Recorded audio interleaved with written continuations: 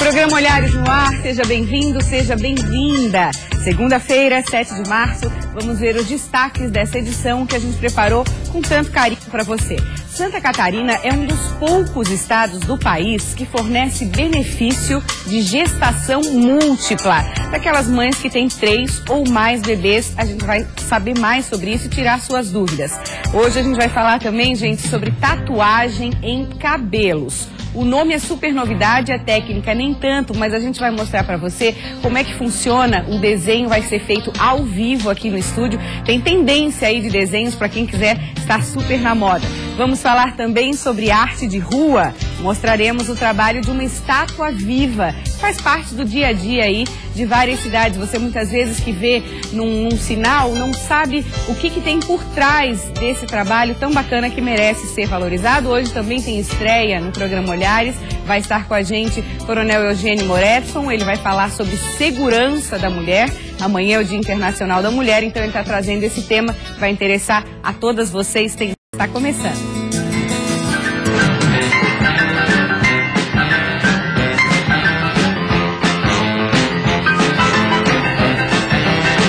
A gente começa falando sobre o benefício para gestações múltiplas. E os nossos convidados aqui, vamos é, apresentá-los. Juliano, seja muito bem-vindo. Boa tarde, Eliane, boa tarde para você. E também a Camila Magalhães, que é diretora de assistência, assistência social. O Juliano e a Eliane são pai e mãe dessas. Opa! Microfonia aqui. Dessas três fofuras aqui. Eles são trigêmeos, deixa eu apresentá-los também, a Valentina, o Arthur e a Luísa. Como é que foi quando você soube que estava grávida de trigêmeos, Eliane? O susto foi grande. Eu hum. descobri já estava de sete semanas quando fiz a ultrassom. Aí o médico ainda brincou comigo, ó, são três. Ainda falei, não brinca. Eu esperava mais ou menos gêmeos por ter casa na família. Mas três não, aí veio três, foi o susto. Passando o susto começou a alegria, né? Preparar tudo para receber. Aquela fase assim que a vida dá uma volta total. Total, 360 graus e mais um uhum. pouco. E aí o Juliano começou a pesquisar se existia algum benefício né, de município ou de estado para caso de gestação múltipla. Como é que foi o processo, Juliano?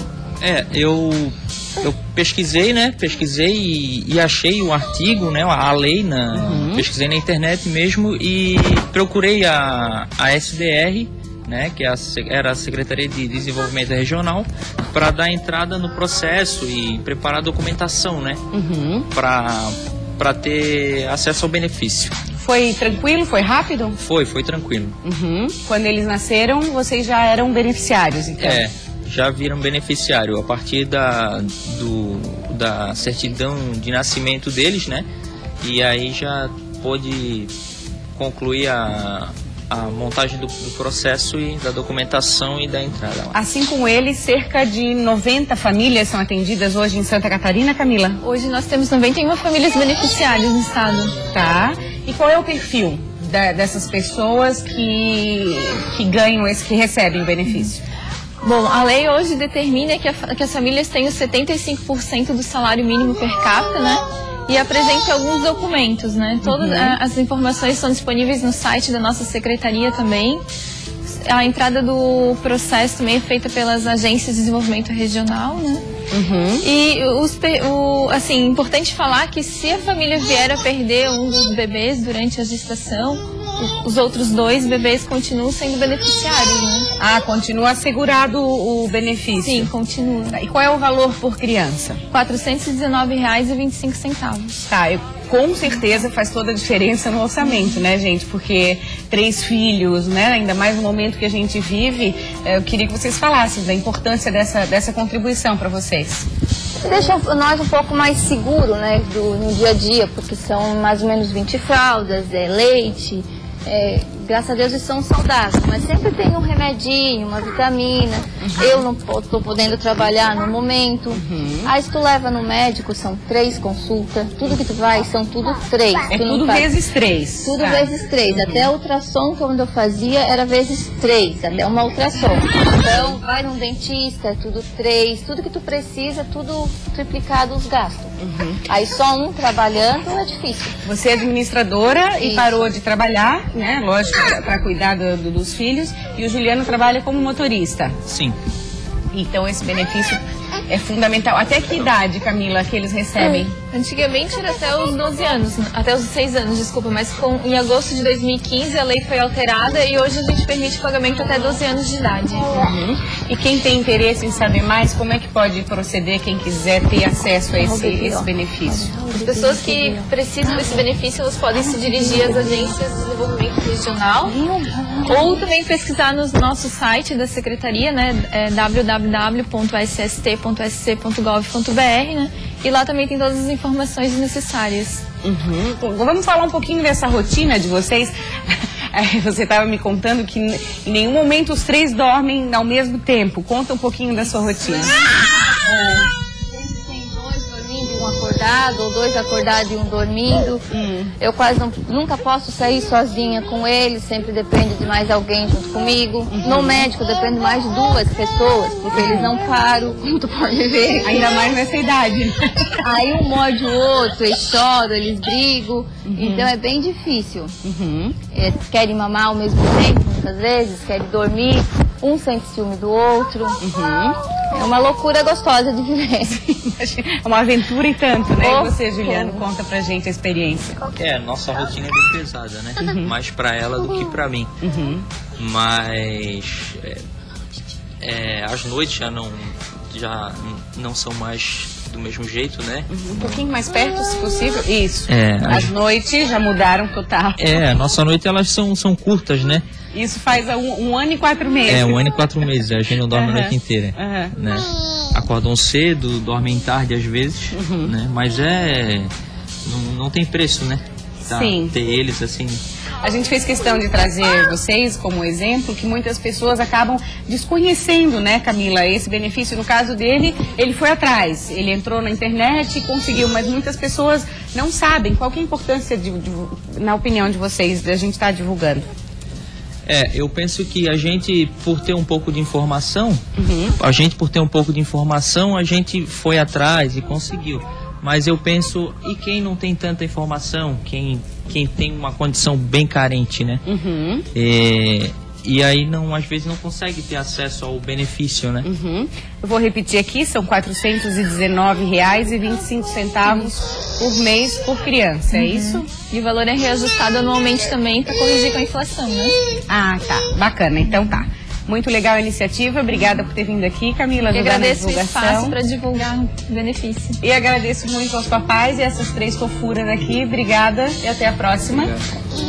Agora deixa eu chamar o Coronel Eugênio Moretson, que está com a gente toda segunda e sexta. Ele vai fazer parte agora do programa Olhares. Seja bem-vindo, né, Moretson? Deixa eu ir aí pertinho, por favor, para a gente ficar mais, mais perto. Tudo bem? Eu que me sinto honrado da oportunidade de poder estar aqui na sua companhia, no programa Olhares, nessa rede tão importante para a comunicação do Brasil, que é a Rede Bandeirantes, podendo dar uma modesta contribuição para os nossos telespectadores, com o foco principal em questões ligadas à segurança. Em nome Mas... de toda a Band de Santa Catarina, da direção principalmente, eu dou as boas-vindas, da obrigado. equipe Olhares. Sempre é bom somar, né? Eu tenho certeza que você vai somar aqui com, com os nossos conteúdos, falando de segurança de uma forma muito ampla. Sim né? E o assunto da estreia que a gente escolheu em função de amanhã ser o Sim, Dia, Internacional, Internacional da, da, Mulher, mulher é a segurança da mulher. Da mulher. É é a segurança da mulher. É, nós começamos muito bem o nosso programa com uma mãe com três filhos, né? Uhum. Nós imaginamos que os pais eles precisam realmente ter condições de segurança para lidar com a sua vida. Imagina para essa mãe sair de casa com os três filhos e essa é uma realidade que hoje as mulheres brasileiras, infelizmente, elas não gozam dessa autonomia. Porque você imagina que um milhão de mulheres sofrem, em média, agressões por ano no Brasil. Uhum. Esse é um dado estatístico daquelas que registram ocorrência. Uhum. Que nós sabemos que ainda existe uma grande subnotificação disso, porque muitas pessoas não procuram as autoridades, e aqui passa o primeiro aconselhamento, né, se o telespectador me permite, é registrar as ocorrências sim, porque isso é muito importante para as autoridades, porque elas mapeiam essas estatísticas e esses dados acabam influenciando políticas públicas. Até porque as autoridades não são onipre onipresentes. Perfeitamente. Qual é a dificuldade, na sua opinião, de, que algumas mulheres têm de irem relatar o, o fato? É, existe um preconceito, é, um preconceito que não é só um problema no Brasil, né? As mulheres pensam que muitas vezes elas serão recebidas como tendo sido elas a causadora da violência, porque estão trajando uma roupa assim, uma roupa assado. Mas isso aí tem que ser superado. Isso é uma barreira educacional. E uhum. esse aqui é uma grande proposta do Olhares, é justamente modificar essas, esses corações e mentes, uhum. para romper com esses paradigmas porque a educação, como nós sabemos, é a mais duradoura e a mais eficiente de todas as políticas públicas. Uhum. Mas a, a, educação ela vem por uma série de outros caminhos, não só na escola, não só a, a, imprensa livre, principalmente, ela tem um papel muito importante. Então, a mulher que sofre esse tipo de ameaça, que sofre qualquer tipo de ameaça, constrangimento no trabalho, constrangimento na rua, constrangimento dos vizinhos, a maior parte dos constrangimentos e ameaças, Maria Paula, vem no ambiente doméstico. Uhum. O 180, o 180, que é o telefone que as mulheres que se sentirem ameaçadas têm que procurar orientação, é o 180. Uhum. Ele recebe uma média de 180, por, por coincidência, o número é até igual, 180 ligações dia de mulheres que se sentem ameaçadas. E eles são orientados, o, é, o anonimato é garantido, uhum. e elas são orientadas sobre qual o procedimento. Uhum. Eu telefonei para o 180, fui atendido com rapidez. A única sugestão, que nós estamos aqui também para isso, né? Claro. A única sugestão que eu posso apresentar às autoridades é que o 180, ele não é integrado ao 190, que é a emergência essa integração eu acho que ela poderia já ter acontecido. Facilitaria, Facilitaria muito. muito. A mulher, na verdade, é obrigada a fazer duas ligações e às vezes ela não terá tempo hábil para isso. Hum. Então fica a sugestão aqui do programa Olhares da Bandeirantes para que se pense nesse programa de integração. Uhum. Bastaria, na minha visão de consultor, que nesta chamada do 180 já se disparasse um alerta para o 190, porque a pessoa pode não ter tempo para ligar o 190. Tá certo. Embora a atendente que me atendeu muito bem, ela fala assim, olha, se a pessoa está sendo ameaçada naquele momento, a gente orienta que ela desliga o telefone e ligue 190. Tá. É, mas é, é, um, é, um, serviço importante, é necessário que as mulheres é, façam esse tipo de apelo. Porque a, a ameaça da mulher, principalmente a, a, a questão da agressão sexual, ela se dá especialmente no ambiente doméstico familiar e com os vizinhos. Uhum. Somente 3% das ocorrências são fora desse ambiente, são com desconhecidos. Uhum.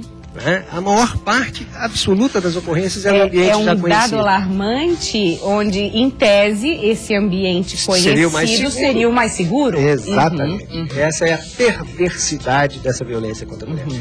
Porque as pessoas, o agressor, ele se aproveita disso. Ela não vai me denunciar porque eu sou parente, eu sou cunhado, eu sou primo. Isso é uma Ela perversão. não vai ter coragem. Ela não vai ter coragem. É. E pra você ter uma ideia, uma mulher é estuprada a cada 11 minutos no Brasil. Nossa. Isso é um dado terrível. Uhum. Né? Isso é um dado quase que de países em guerra. Uhum. infelizmente existe essa questão cultural né, do estupro, do, do, do, do, exército invasor que entra no exército no país que perdeu, uhum. né, faz parte do legado dos soldados vencedores, o estupro sistemático de mulheres. Uhum. Isso é uma coisa antiga, mas que infelizmente não acontece em guerra. Agora, Moretson, você falou da questão do estupro, a gente vê muito, cada vez mais, as redes sociais estão aí, as pessoas com coragem relatando Sim. os casos, falando mais sobre isso. Recentemente, na cerimônia do Oscar, a Lady Gaga, que publicamente já admitiu ter sofrido violência sexual, subiu ao palco com outras vítimas também de violência sexual, inclusive a música que ela fez, que foi indicada né, como para uma das, das melhores, faz parte de um documentário bastante famoso nos Estados Unidos sobre violência dentro do campus das universidades norte-americanas. Então, a sensação é que a gente vê que tem uma certa abertura, que as pessoas estão falando mais, a partir daí estão quebrando tabus. Exatamente. E a primeira medida de defesa é a informação.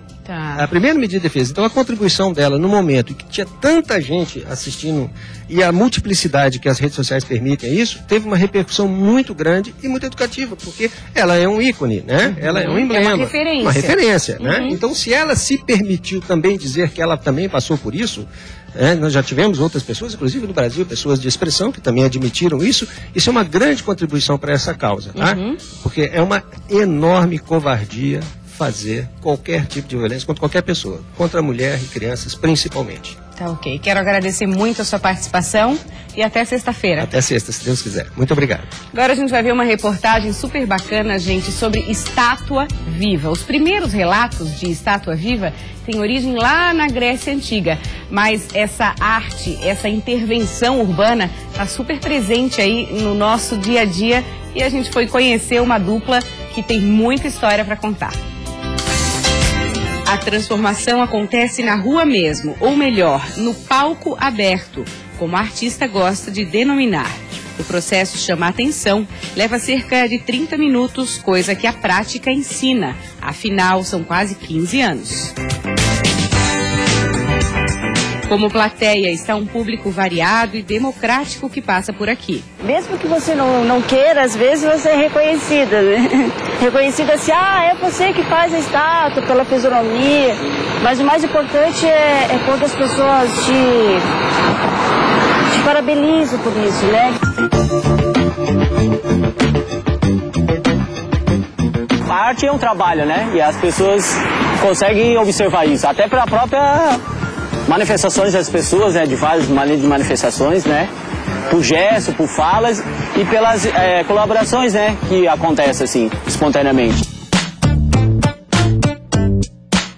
A parceria de Jackson é fundamental para o andamento do trabalho. É muito importante porque foi um dos, dos, dos Viva, ele que me incentivou, ele que me acompanhou meu primeiro dia de espetáculo na rua, né? Também porque é meu companheiro, pai da minha filha, né? Então ele é muito importante para minha vida.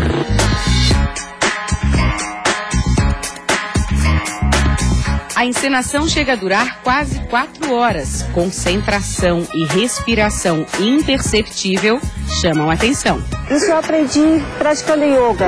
Isso não foi desde o início assim, mas com o tempo eu fui percebendo que o yoga poderia contribuir muito.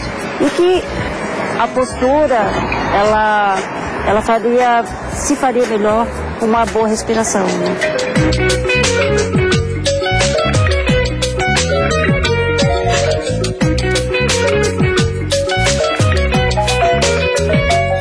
O contato com as crianças é uma das coisas que mais empolga o trabalho.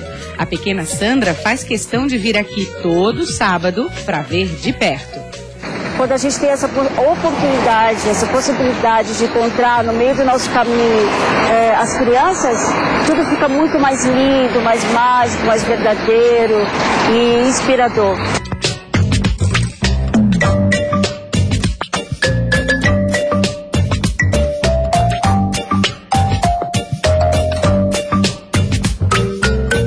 Esta interação serve para aprimorar e seguir em frente. Entre dificuldades e alegrias, os artistas estão aonde o povo está, com persistência e amor pelo que fazem. Seria muito importante as pessoas analisarem já o pretexto de que a gente está na rua e para a gente estar tá na rua a gente tem de a estar fazendo o que a gente faz, né? É, não foi da noite para o dia que a gente simplesmente chegou aqui só porque deu dinheiro não é bem assim. A gente tem nossas dificuldades, a gente passa por nossas dificuldades, é, às vezes pelos órgãos públicos, né, de perseguição, mas é, o nosso maior, maior gratidão é que as pessoas que, que, estão aqui em Floripa, que moram em Floripa e que passam por Floripa, é, nos valorizem pelo que a gente faz. A gente sabe que é dificultoso, e início também foi dificultoso, mas com o tempo a gente foi pegando as coisas e, e a gente também foi quebrando os preconceitos, né? Das pessoas começar a valorizar, a, a passar o chapéu e, e colaborarem. Então a gente viu que também a gente pode sobreviver do que a gente aprendeu e vem aprendendo na rua, né? Fazer essa troca, assim.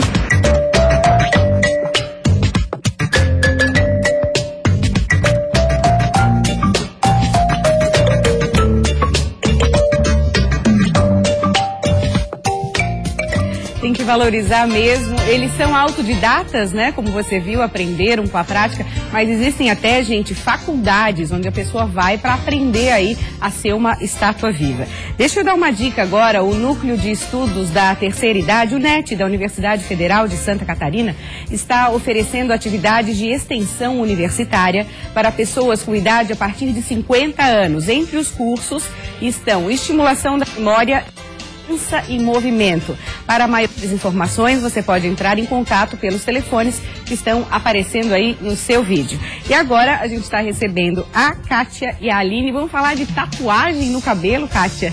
Tudo bem? Bem-vinda a Olhares. Tudo bem? A Aline está aqui, a nossa modelo por um dia. tatuagem no cabelo, o nome quando a gente fala assim, ah, hoje, eu estava comentando ali na redação, né? Hoje vai vir uma, uma moça falar sobre tatuagem no cabelo. Todo mundo, tatuagem no cabelo? Em princípio, como? Fala um pouquinho desse conceito. É um conceito novo. É, começou nos anos 70 com o movimento visual punk, que era side cut, que é as laterais, e se fazia muito moicano. Depois, nos anos 90, começaram a fazer o undercut, que é atrás, na nuca. Na nuca. E agora, ultimamente, as atrizes estão fazendo muito desenhos com navalha. E antes, é, um pouco antes, é, começaram a fazer com coloração. E depois é que veio agora essa onda de desenho com navalha, que era feita mais em é, público masculino, né? Tá, então antes não raspava o cabelo, fazia com, com coloração, com Com tinta? coloração. Tá. Já começava a raspar, mas não o desenho, né? Agora é a nova tendência. Essa tatuagem no cabelo, que é um tema super moderno, o nome é super moderno, é raspando. É raspando. Tá. Primeiro, Vamos começar com o seu aqui. Ela é a modelo. é a própria Kátia. Você que fez, Kátia? Você fez você mesma? Qual é, é a proposta do seu look? eu acho que primeiro por ser prático, para quem Tá. tem cabelo muito volumoso, Uhum. como o meu, Tá. é, eu acho que é melhor. Hum.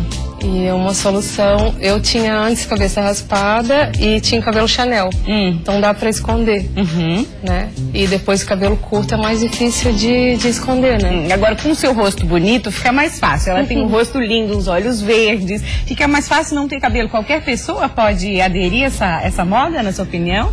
Como dá para esconder, qualquer pessoa pode aderir, né? É. O curtinho já é mais complicado. Então, no visagismo, é, o rosto muito redondo é mais complicado porque ressal- ressalta as bochechas. O rosto mais quadrado só vai ressaltar essa parte aqui. Então, tem que cuidar também com a orelha, né? Tá. E com a testa. No seu caso, seu rosto é mais fino, então. o rosto ele tá é certo. oval. Oval. Então, é e mais, fino nas laterais. pra- Tá. pra usar. Tá. Ou também tem que ter bastante ousadia, né? E esse tipo de corte, ele demonstra mais força, mais garra, que é o que a mulher hoje em dia quer demonstrar quando pode, né? E quando não pode, esconde e tem um corte tradicional. É porque não é só fazer, tem que ter, como você falou, tem que ter estilo pra segurar a proposta. É. Porque tem pessoas que fazem e hum, não combinou, né? É. Não, não- é, é mais a atitude mesmo, né? É, Que- uma atitude. E caso se arrependa, tem como esconder e ir crescendo. Agora, quem tem cabelo muito crespo, Hum. afro é mais complicado, porque tem que raspar bem ou tem que sempre fazer um alisamento. Ah, tá. Tem que fazer uma manutençãozinha, É, assim. Tem que fazer uma manutenção a cada do- duas semanas, mais ou menos. E esses desenhos, eles duram mais ou menos duas semanas também, que é o tempo que cresce e esconde o desenho. Você começou a fazer o da Aline, né? Antes do, do programa começar. Quanto tempo esse processo até aqui você, você levou, Kátia? Uma hora. Uma hora. Quanto maior, mais elaborado, mais vai demorar. Tá, deixa, eu- deixa eu conversar com a Aline. Tem o microfone, Bruna, que pode dar aqui, que ela já está super acostumada. Eu perguntei para ela se era a primeira vez. Ela disse que já faz. Geralmente quem faz a primeira vez mantém, né? Deve ser assim. Mantém. Ela é, faz de vez em quando desenho, mas o side cut ela já mantém há muito tempo. Tá, o side cut É o raspado, é o raspado de um lado. Mas aí você falou que tem aqueles que a gente viu na- nas fotos que dá pra fazer na nuca e ele fica. Ó, no caso esse aí, né? Ele É o fica. undercut. Tá, se a pessoa cortou todo, ok, mas se não, pode tapar o cabelo. Pode. Aline, agora Sim, temos também. microfone. Quando- Quando é que você fez a primeira vez a, a tatuagem no cabelo? Olha, faz alguns meses que eu faço com a Kátia. Hum. Nós fizemos já alguns desenhos. Hum. E faz mais ou menos um ano que eu faço só o raspado no lado. E o que que. Agora não abre mão assim? Gostou e vai fazer sempre? Ah, ele é um adorno. Você acorda de manhã e já tem algo diferente no seu corpo, né? Tá certo. Então, ele é interessante. é um acessório. Você vai finalizar pra gente, né, Kátia? Uhum. Vamos ver então como é que é? Tá, então é importante, né? Quando a gente faz o side cut, tem que passar uma maquininha. Tá, antes. vamos até virar aqui, ó. Pra, aqui fica mais fácil? Deu. Hum. Então a gente co- coloca esse velcro que prende e a gente tem que fazer o desenho certinho. Ah, pra não pegar é, o- os outros pra fios. depois, nos outros meses, manter a linha. Ah, a se ela quiser esconder, ela também pode esconder. Mas não quer esconder, né, Aline? Já que fez, vamos mostrar, né? O importante é, ver se o material é descartável. Tá. Então, sempre usar lâmina descartável. Bem E são esses, é, o que que tá mais na moda? Esses desenhos, Esses assim, que lembram o desenhos que? Tribal? A gente pode... tribal, desenhos ético, étnicos. Tá, E a gente tem que passar um creme, tá, porque machuca um pouco. tá. Tem contraindicação, assim, de desenvolver algum tipo de alergia? Tem algum Não. caso? Não? Não, nunca teve, não tem nenhum problema. Tá. Pode fazer, eu falei, tem que ser a navalha afiada, né? Sim. Então a gente passa e vai fazendo só com a pontinha.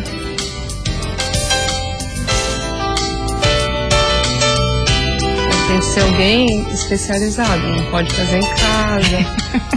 né? A gente encerra com essa dica, né, Kátia? Não vão fazer aventura em casa ou pedir pro primo, pro irmão, pra irmã. Ah, é só um desenhinho não, tem aqui. Aí, depois, aí, aí vão lá na Kátia pra arrumar depois, É. né? Então, muito legal. Olha, é um trabalho, mão super firme, paciência também sua, É. uma artista, né, também? Obrigada. Obrigada também por ter vindo mostrar Obrigada. essa novidade pra gente. Obrigada, Aline. Obrigada a você pela audiência. Amanhã tem mais olhares. A gente encerra o programa dessa segunda com uma dica cultural para você que está nos assistindo. É a exposição Ver Peixe, Ritmos e Panoramas na Pesca da Tainha. São vídeos e fotos belíssimas. A visitação pode ser feita até o dia 31 de março, da 1 às 6 horas da tarde, no Memorial do Ministério Público Federal de Santa Catarina, no bairro Agronômica, em Florianópolis. Uma ótima tarde para você e até amanhã.